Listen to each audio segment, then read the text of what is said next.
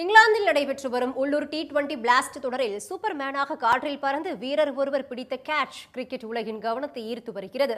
Success Sharks மற்றும் Hampshire Hawks அணிகளுக்கு இடையே நேற்று டி டுவெண்டி போட்டி நடைபெற்றது. இதில் சசக்ஸ் அணியின் வீரர் டைமல் மேல்ஸ் வீசிய பதினான்காவது ஓவரின் ஐந்தாவது பந்தில் டீப் ஸ்கொயர் திசையில் பெனி ஹோவல் சிக்ஸருக்கு பந்தை விரட்டினார்.